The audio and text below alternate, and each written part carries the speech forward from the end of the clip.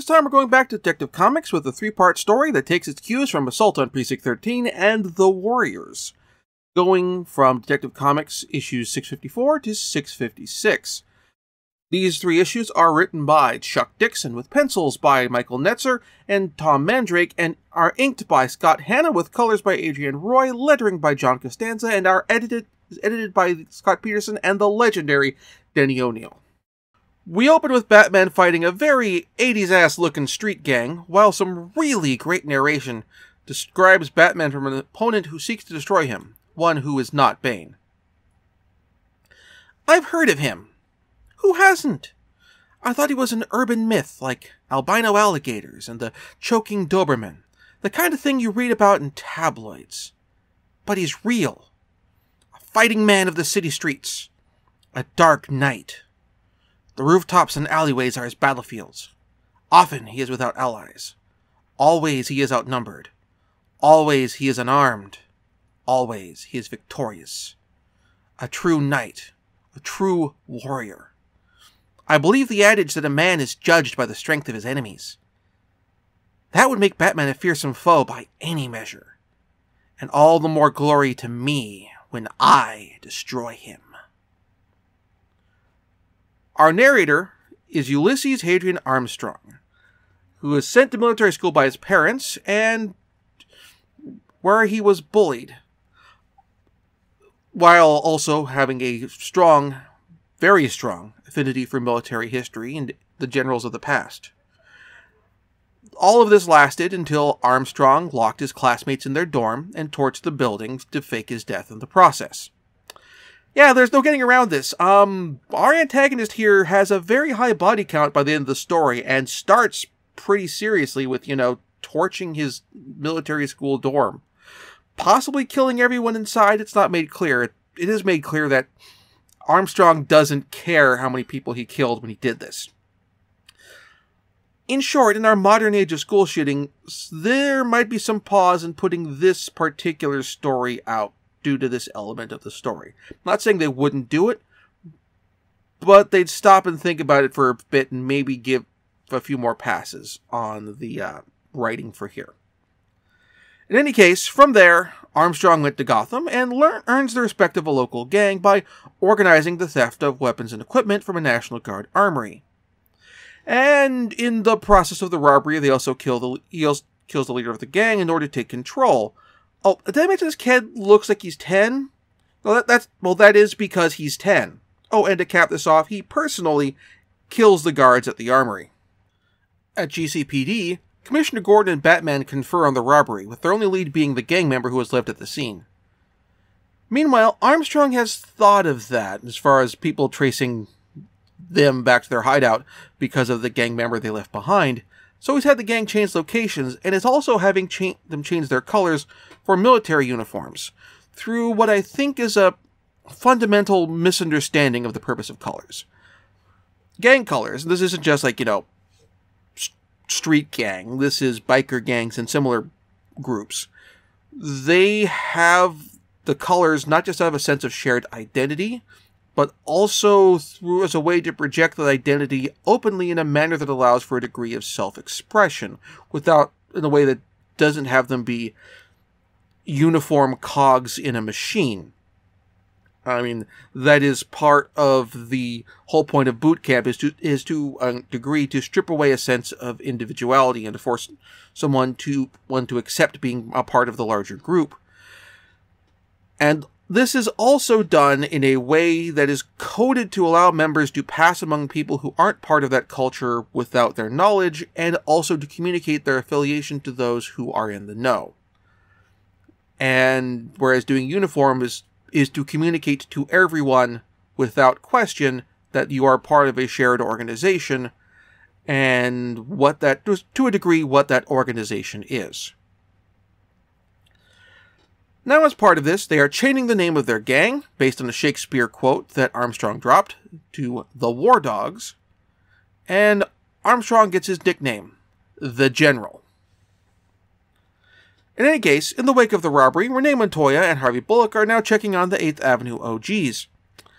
The War Dogs' former name was the Bengal Raiders, and the dead gang member, being former leader of that group, leads Montoya and Bullock to suspecting that perhaps, well, if the OGs were responsible for this, because the Raiders had done work for the for the uh, OGs, they might let something slip. Not so much in the sense of oh, outright saying yes, we ordered this, no, we didn't. We're, but in the sense of oh, we heard something. Batman has the same idea and is following on the rooftops. All three arrive just in time for the War Dogs to roll up in their stolen Humvees, wielding automatic weapons as they gun down the OGs. Armstrong has changed his look as well, having gotten his hair cut in a fade with a general's stars shaved out at the sides. Batman takes down two of the War Dogs while the gang rolls through, totaling Montoya and Bullock's vehicle in the process.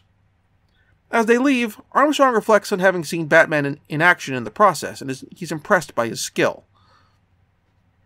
Also, Montoya sees a trail of blood going around the corner, implying that Batman caught a bullet. This is confirmed in the Batcave as Alfred tends to Batman. Apparently, the War Dogs are using armored piercing bullets, which are erroneously described as Teflon coated. Bruce tells Alfred that Tim is staying off of this one, at least until he gets a handle on what's going on. Elsewhere, the OGs have arranged to meet with the War Dogs. The OGs have also had a change in management under similar circumstances to how the Raiders became the War Dogs. The General gives his offer. The OGs join the War Dogs, but keep their colors as a unit insignia. He lays out his plan. Unite the gangs, crush the mobs and mobs and the police, and the Bat. The second issue begins with Batman keeping watch on the Raymond Rudolph projects as he suspects that this will be the next front of the war. He's not wrong, as the War Dogs hit the place next, with Batman jumping in the middle. During the fray, the leader of the Runners, the gang that controls the projects, manages to capture the General. Batman saves him from certain deaths when he plummets from the building, as the War Dogs gun down the Runners' leader, Bojack.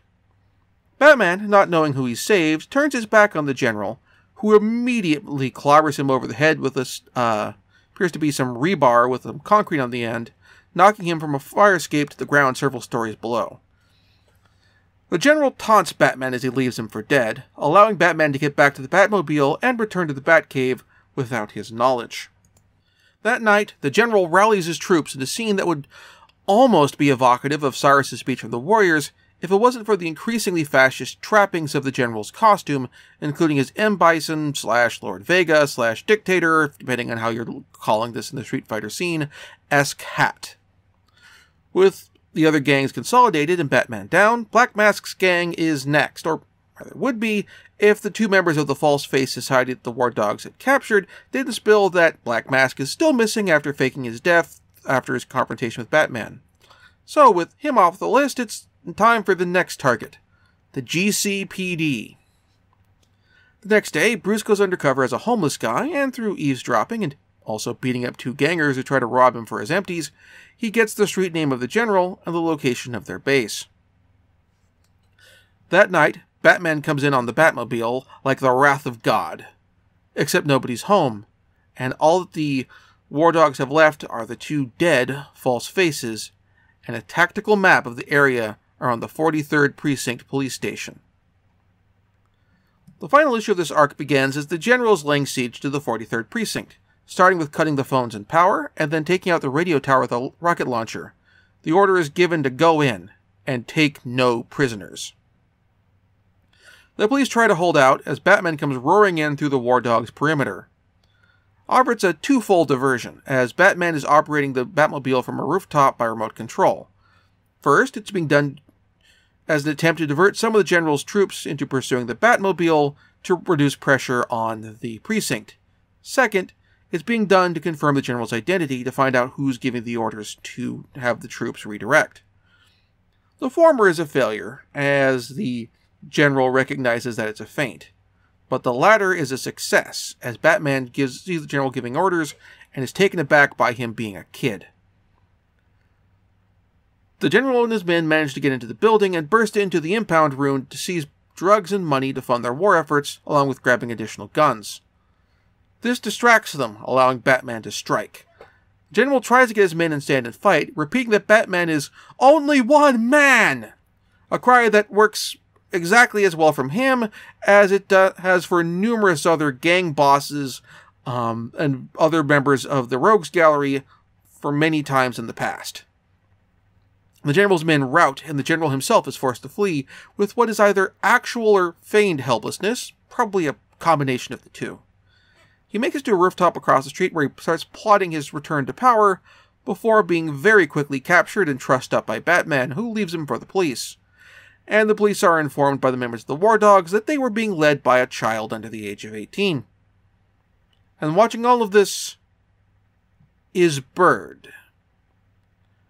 Bird returns to Bane to report, and they decide that Black Black Mask and the General were a inadequate demonstration of Batman's skills. To push Batman harder, to bring him closer to the edge, they'll need to put him against more ambitious enemies.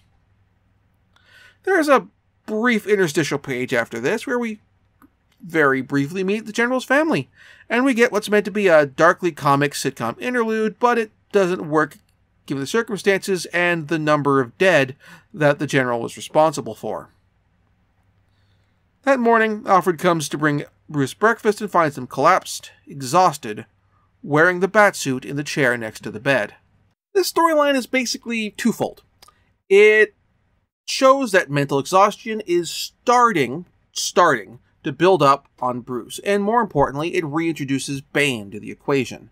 Bane is clearly deliberately laying low to build up intelligence and other information for his ultimate plan, which we have yet to see, but his appearance here builds up a definite sense of threat that he is here in the background and he has been manipulating events to a certain extent. What extent and to what ultimate goal we, at this point, are yet to know. Of course, us in the present day, we know where this is going. Now, as far as the general himself goes, he's an interesting threat here. On the one hand, he would probably he's someone who'd probably have problems when it comes to the rest of Batman's rogues gallery, not just the Joker. Um, another more malicious and homicidal threats. I mean, he has no qualms with killing on his own, but up against Scarecrow, Joker, even possibly Two Face, things get could get bad for him. However, the strong implication here in the story is that most of the rogues are currently safely locked up in Arkham, and while they may be escaping in ones and twos, like what happened with Black Mask, they're generally more manageable now for Batman and, for that matter, GCPD, which also gives something of an opening for someone as opportunistic as the General. Now, the General on his own is going to become, not within the scope of Knightfall itself, but in the larger world of the Bat family, more of a recurring antagonist of Tim Drake as Robin. And I think actually for if that was the long-term goal with him starting here, introducing him in a story where Robin is absent and putting him directly against Batman actually works in his favor because it shows him as a th- antagonistic threat as someone who's going to who poses something of a challenge to Batman though Batman is ultimately able to overcome him, and not a physical challenge, a mental challenge, a strategic challenge. Um, but he's not so much of a heavy hitter that he should exclusively be part of Batman's rogues gallery. This also creates a situation where the general could theoretically, again, outside of night, the scope of Knightfall, team up with another bat, more larger Batman antagonist, and create a person who opponent who both Batman and Robin have a history with. And not just in the sense of Batman has a history with this guy, Robin has a history with the general. They've both they've interacted with both opponents. So it's it's a good fit there. Next time, Azrael flies with the Bat family.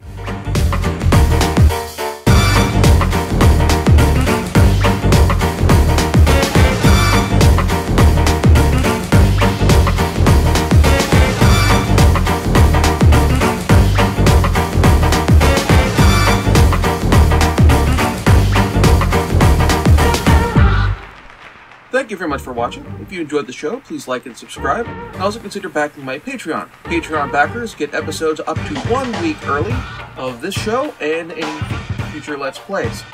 Also, please consider backing my Ko-fi. Uh, toss me a few bucks also helps support the show, and it's not a monthly obligation or anything like that.